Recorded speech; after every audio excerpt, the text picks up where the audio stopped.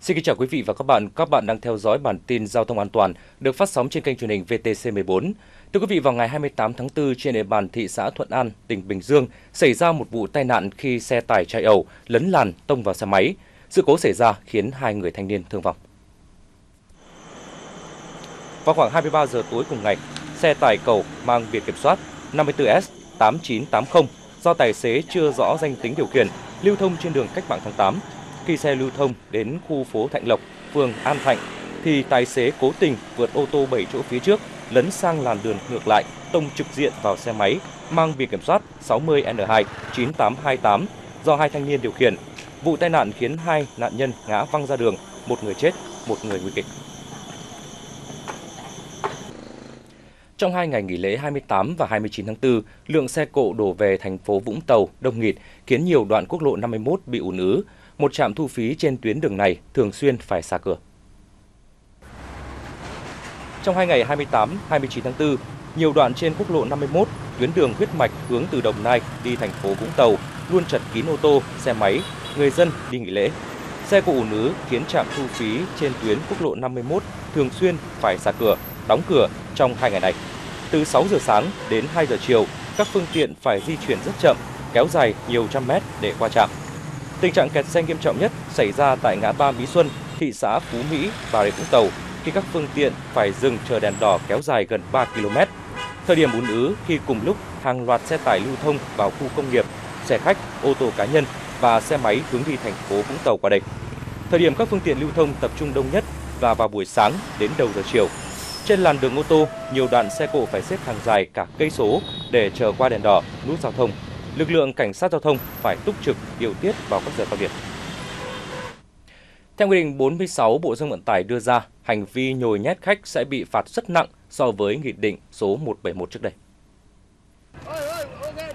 Đối với xe khách thực hiện hành vi vi phạm chở quá từ 2 người trở lên trên xe đến 9 chỗ, chở quá từ 3 người trở lên trên xe 10 chỗ đến xe 15 chỗ, chở quá từ 4 người trở lên trên xe 16 chỗ đến xe 30 chỗ.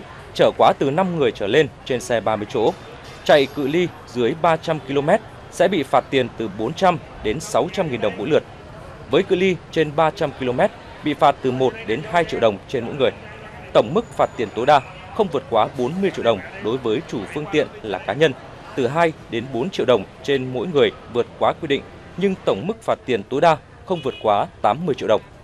Quy định này áp dụng đối với chủ phương tiện là tổ chức giao phương tiện hoặc để cho người làm công, người đại diện điều khiển phương tiện vi phạm hoặc trực tiếp điều khiển phương tiện thực hiện hành vi vi phạm. Thưa quý vị, cứ vào mỗi dịp nghỉ lễ 30 tháng 4 và mùng 1 tháng 5, tình trạng xe nhồi nhét khách, thu giá quá quy định lại gia tăng đột biến, khiến nhiều hành khách bức xúc. Tuy nhiên năm nay, với việc kiểm soát phương tiện ngay từ cổng bến, ngay trên các tuyến đường ven các bến xe, nên tình trạng xe nhồi nhét, thu quá giá quy định giảm hẳn và ghi nhận của VTC14 bến xe khách Gia Lâm, những hành khách muốn đi xe đều bắt buộc phải mua vé thì mới được vào bến lên xe. Hoạt động kiểm soát số lượng hành khách lên xe được thực hiện ngay từ trong bến xe, nên các doanh nghiệp, chủ phương tiện không có cơ hội trở qua số người quy định. Nên vào các quầy bán vé à, của bến để mua vé đi xe, không nên đứng à, đón xe ở ngoài khu vực của bến. Thì à, theo trong cái đợt cao điểm này chúng tôi cũng đã duy trì tốt hai cái cửa soát vé với một cái mục tiêu là không để bất kỳ hành khách nào phải bị các cái hành vi của nhà xe để thu tiền cao hơn giá vé quy định hoặc là nhồi nhét khách trong cái đợt này. Không chỉ kiểm soát hành khách trong bến, các bến xe còn phối hợp với lực lượng chức năng kiểm tra toàn bộ phương tiện trước khi rời bến. Các phương tiện có dấu hiệu chở quá số người quy định bắt buộc phải hạ tải. Vì thế, hầu hết các phương tiện đều chủ động chở đúng số người quy định khi rời bến xe. Đợt này thì có bốn cái tuyến là Ninh Bình, Thanh Hóa, Nam Định và Thái Bình. Và chúng tôi thì tập trung vào cái Thanh Hóa là nhiều nhất. Vì thứ nhất là cái cung độ của cái Thanh Hóa thì đông hơn, ờ, đặc biệt là các tuyến ờ, huyện ờ, Thái Bình, à huyện Thanh Hóa. Thứ nhất là cái cung độ dài, cái thứ hai là cái lưu lượng ờ, hành khách ở tỉnh Thanh Hóa qua qua lại giữa thủ đô và Thanh Hóa cũng nhiều. Do đó thì chúng tôi sẽ tập trung vào cái tuyến này nhiều hơn. Tăng cường cái lực lượng và chốt chặn ngay ở tại các cổng bến khi các xe xuất bến thì đều có lực lượng uh, kiểm soát nhân viên phối hợp cùng với thanh tra kiểm tra từng phương tiện nếu phát hiện những trường hợp nào xe uh, quá tải nhồi nhét khách thì chúng tôi đều lập biên bản và xử lý do đó thì à, các cái đơn vị vận tải cũng nắm bắt được tình hình như vậy thì họ cũng đã chấp hành nghiêm cái việc này Công ty quản lý bến xe khách Hà Nội cho biết, trong hai ngày cao điểm vận chuyển hành khách 27 và 28 tháng 4, các bến xe đã vận chuyển khoảng gần 150.000 hành khách. Cá biệt, có ngày lượng hành khách tăng khá cao như tại bến xe khách phía Nam tăng tới 355%. Tuy nhiên, thông qua hệ thống đường dây nóng, công ty chưa nhận được các thông tin liên quan tới phương tiện nhồi nhét khách thu quá giá quy định. Hiện tại cả ba bến chưa có uh, phản ánh gì. Tuy nhiên là để đảm bảo uh, an toàn tuyệt đối cho hành khách thì chúng tôi cũng phối hợp với cả lực lượng thanh tra và công an ở các cửa bến uh, nhằm uh, kiểm tra và xử lý ngay những xe nào mà có xếp quá tải cũng như là có sự phản ảnh của hành khách này. Trong hai ngày cao điểm vận chuyển khách dịp 30 tháng 4 và mùng 1 tháng 5, các bến xe khách trên địa bàn thành phố Hà Nội đã tăng cường khoảng 600 lượt phương tiện. Bên cạnh đó, cũng đã kiểm soát hàng trăm lượt phương tiện trước khi rời bến, đảm bảo hành khách lên xe từ trong bến không bị nhồi nhét thu quá giá. Tiếp tục chương trình với một số tin vắn giao thông đáng chú ý khác.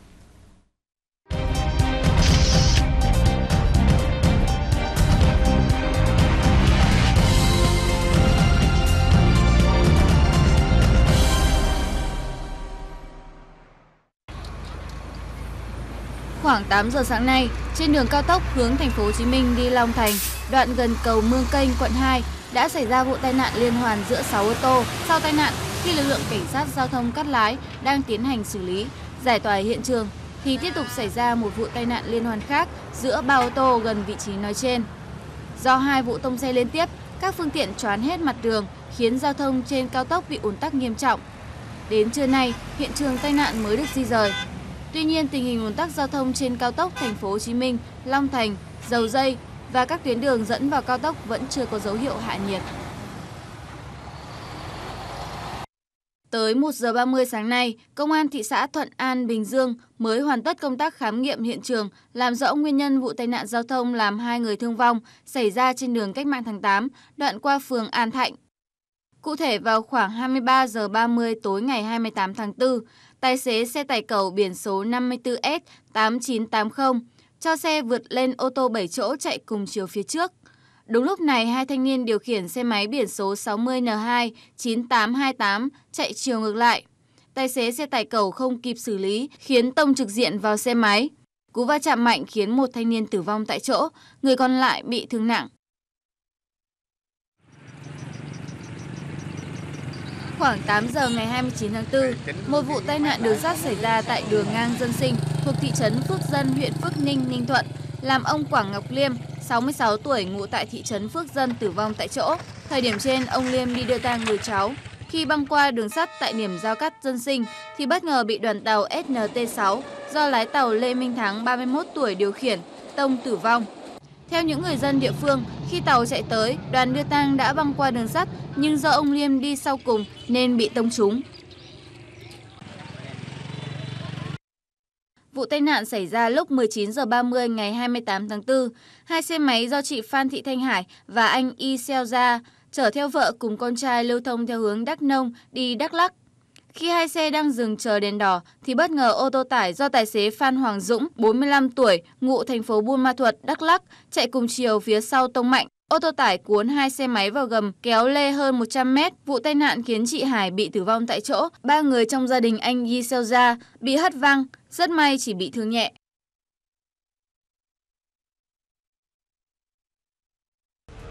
Ăn cắp thiết bị chiếu sáng Bẻ gãy hàng rào tôn lượn sóng ngang nhiên mở cơ sở vá lốp, mở xưởng sửa chữa trên đường. Vô tư đi lại trên đường cao tốc, phá rào, lên đường bắt xe. Xe khách đua tốc độ, dừng đỗ đón trả khách trên đường. Hệ lụy tất yếu là liên tiếp những vụ tai nạn nghiêm trọng trên đường cao tốc. Cả nước hiện có hơn 600 km đường cao tốc, Mục tiêu đến năm 2020, mạng lưới đường cao tốc sẽ mở rộng 2.500 km. Việc xây dựng, hoàn thành và đưa vào khai thác sử dụng đường cao tốc đã làm thay đổi đáng kể bộ mặt giao thông, thúc đẩy sự phát triển kinh tế xã hội.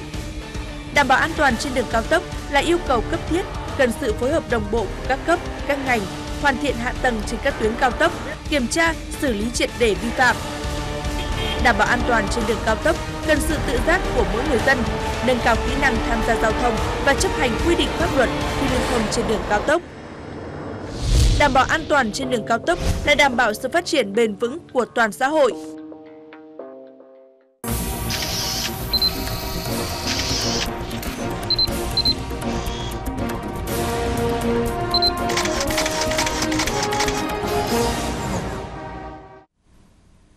Thưa quý vị, khoảng 80 đến 90% tổng số vụ tai nạn giao thông là do ý thức người tham gia giao thông và khoảng 10% là do phương tiện không đảm bảo kỹ thuật, cơ sở hạ tầng, tổ chức giao thông vẫn còn bất cập.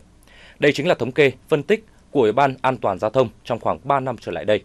Thực trạng đáng báo động trên đang cho thấy nhận thức của người tham gia giao thông hiện chưa cao, đang khiến nguy cơ về tai nạn ngày càng có những diễn biến phức tạp.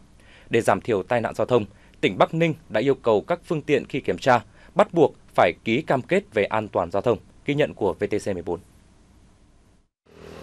Tuyến quốc lộ 1 qua địa bàn tỉnh Bắc Ninh, hàng ngày lực lượng cảnh sát giao thông đã yêu cầu hàng chục trường hợp ký cam kết về an toàn giao thông. Như chiếc xe container này, sau khi dừng phương tiện kiểm tra về giấy tờ xe, phương tiện, cảnh sát giao thông đã yêu cầu lái xe là anh Trần Văn Đức ký cam kết. Nội dung cam kết không vi phạm giao thông, chấp hành nghiêm các quy định. Anh Đức cho rằng đây là giải pháp giúp lái xe nâng cao nhận thức, hành vi khi tham gia giao thông trên đường. Như thế này thì nó sẽ tốt cho việc mình lưu thông trên đường với lại tránh bị tai nạn không hơn. Cam kết thế thì lái xe sẽ an toàn cho không những cho mình, cho bản thân mình và cho những người tham gia trên đường. Thì sẽ thực hiện theo đúng cam kết thì mình đã, đã, đã ký là sẽ tuân hành ờ, tuân hành chấp các quy định của bên giao thông đề ra. Ghi nhận của VTC14 cho thấy, trong mỗi ca tuần tra, kiểm soát, cảnh sát giao thông đã yêu cầu vận động được khoảng 10 đến 15 trường hợp ký cam kết về giao thông. Các trường hợp tham gia ký cam kết được thực hiện ở một số đối tượng tham gia giao thông. Thời gian này là các cái ý thức tham gia giao thông của nhiều người nó không được tốt. Nói chung là trên phòng cảnh sát của Bắc Ninh mà làm được cái này thì nó làm thêm cho mọi người là có ý thức thêm để đảm bảo tham gia giao thông an toàn cho tất cả mọi người. Tăng cường công tác tuần tra kiểm soát giao thông, đặc biệt là ở những cái tuyến đường và vào những cái thời gian uh, trọng điểm là nơi mà các phương tiện là tập trung và chúng tôi xử lý những cái hành vi là nguyên nhân trực tiếp gây lên tai nạn giao thông như là sử dụng rượu bia khi điều khiển phương tiện giao thông, đi không đúng phần đường làn đường và dừng đỗ sai quy định. Cũng theo đại úy Cường, hiện tình hình trật tự an toàn giao thông trên các tuyến đường đang có những diễn biến phức tạp, nhiều vụ tai nạn thương tâm đã xảy ra. Vì thế, việc yêu cầu người vi phạm giao thông ký cam kết không tái phạm có ý nghĩa đặc biệt quan trọng nhằm giúp người điều khiển phương tiện nâng cao nhận thức, hành vi khi tham gia giao thông. Đẩy mạnh công tác tuyên truyền, phổ biến giáo dục pháp luật ờ, cho các đối tượng tham gia giao thông, đặc biệt là đối với những cái ờ, người tham gia giao thông và khi chúng tôi dừng phương tiện thì chúng tôi là đều cho ký cam kết là không vi phạm ờ, và chấp hành tốt ờ, luật giao thông đường bộ. Cái biện pháp này để chúng tôi là giáo dục, phòng ngừa và để ờ, cho những người tham gia giao thông hạn chế cái mức thấp nhất những cái thiệt hại xảy ra khi tham gia giao thông ở trên đường. Tai nạn giao thông thường để lại hậu quả nặng nề, thương tâm cho gia đình và xã hội. Vì thế, kiểm soát, ngăn chặn vi phạm giao thông bằng việc ký cam kết là hết sức quan trọng, giúp cho người tham gia giao thông ngày càng nâng cao nhận thức, giảm thiểu tai nạn giao thông. Bản tin giao thông an toàn ngày 29 tháng 4 năm 2018 của kênh truyền hình VTC14 xin khép lại tại đây. Cảm ơn quý vị đã dành thời gian theo dõi. Xin kính chào tạm biệt và hẹn gặp lại quý vị trong những bản tin tiếp theo.